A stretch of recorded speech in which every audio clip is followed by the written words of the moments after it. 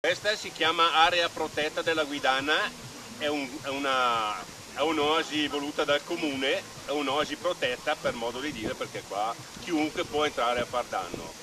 Il fatto è che in, eh, negli ultimi anni mi hanno ucciso i cani liberi, due oche e quattro anatre.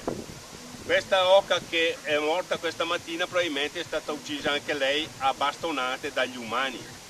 Poi è arrivato anche l'animale selvatico, il predatore, ma un altro modus operandi, cioè il, il predatore squarta l'animale e mangia l'interiore, il cane sbrana.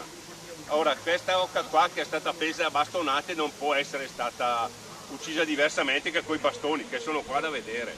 Allora quello che chiedo io è solo rispetto per gli animali perché in fin dei conti questa è un'oasi dove vengono migliaia di persone. Poi su su migliaia di persone è ovvio che gli imbecilli sono pochi, molto pochi, ma sono quelli che fanno il danno.